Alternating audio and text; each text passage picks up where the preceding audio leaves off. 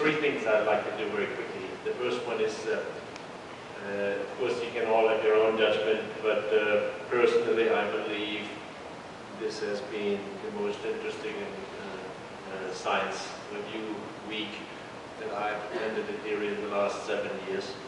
So I feel very, very happy about this, uh, the whole range of things that have been presented, and the quality of the research and the new ideas and the results that are being produced seemingly much faster than before. Uh, that's just all extremely good and really, really reassuring. Second thing, uh, before I forget this, which I sometimes do, so I need to, of course, thank all of the, well, mostly ladies, a few men, who work in the background to make this thing work. So, the Maricor, Donna, we are, we are, the tech guys, uh, I really have nothing to do with all of this, which is really great and it helps a lot. There's one other little thing I want to do, uh, give a little personal prize uh, to somebody. Uh, Ando, could you come forward? Now, the Young Scientist Program has been a lot of work. And of course, as she has pointed out, there's been a lot of people involved, committees, uh, but there's always one person who needs to bring it together. And uh, I know that she spent a lot of time on this.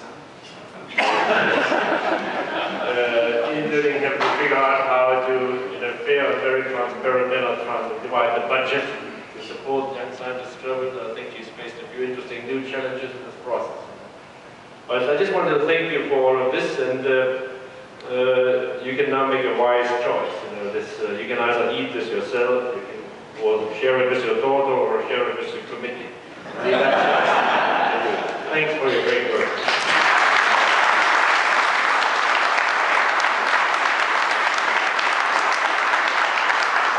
Okay, now the floor is yours. Uh, you're allowed to speak. I'm allowed to speak, finally, thank you. Um, as usual, Achim has uh, you know, left me with very little to say, uh, expressing his uh, uh really great uh, pleasure with what, how this week has gone and the incredible depth and breadth that was covered that reflects the breadth, but not completely of the work that's going on here, and the depth as, as well. I'm always impressed with Achim. He starts out and says there's three points he wants to make, and he actually makes all three. Uh, I generally lose count. At the dinner the other night, he said he had four rules. I was sitting there, my God, how can you remember four rules? but at any rate, uh, there's no question that uh, the, uh, the great uh, uh, work and the, the organization, the energy that we see in the work that's going on at IRRI now, young scientists, old scientists, uh, in many ways reflects that energy that Achim brings to the job. As you all know, Achim's leaving in uh, uh, uh sometime next, early next year. Uh, I sent out a, a memo announcing the, his replacement, Matthew Morell. And we're excited about Matthew's joining, but there's no question that we're going to miss Achim very much. And he has put his heart and soul, and we'll have plenty of time to say goodbye, but this is I think the best time to just uh, uh, uh, think a little bit about how much has brought to the Institute. Uh, the young scientists, uh, uh, I think he has taken special attention to, to your needs, making sure that, that we bring you here, that we have an institution that's welcoming for you, that will help you grow, that you have not just one mentor, that you have several mentors. And so I think we should all at least put our hands together and thank God for this.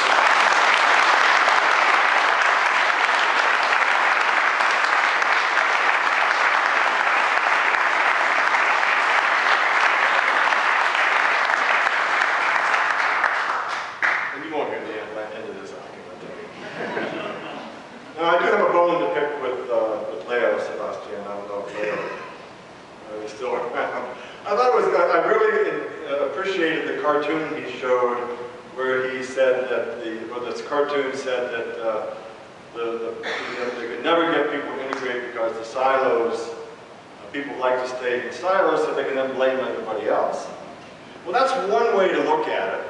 Now, another way to look at it is that you design a work, a system of work, so that you have focus and you can address critical issues, and you are absolutely accountable for what happens. So if you're in a silo, you cannot point to anybody else. So I think that let's be, let's be, uh, let's be very clear about that. And I think um, let's also be clear that when we think about the Global Rice Science Partnership, if it's a silo, it's a silo as big as the world.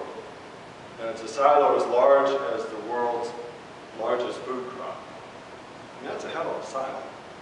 Uh, and it has, it offers great opportunity, it offers great challenges. And I think what we see, what we have seen this week, clearly demonstrates the, the, the wisdom of the choice to create a global program that addresses the multi-dimensional, multifaceted needs of the world's most important food crop, rather than dividing it up across 15 different programs. That was the choice.